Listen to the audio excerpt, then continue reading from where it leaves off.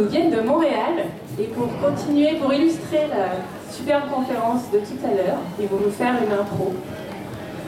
C'est parti.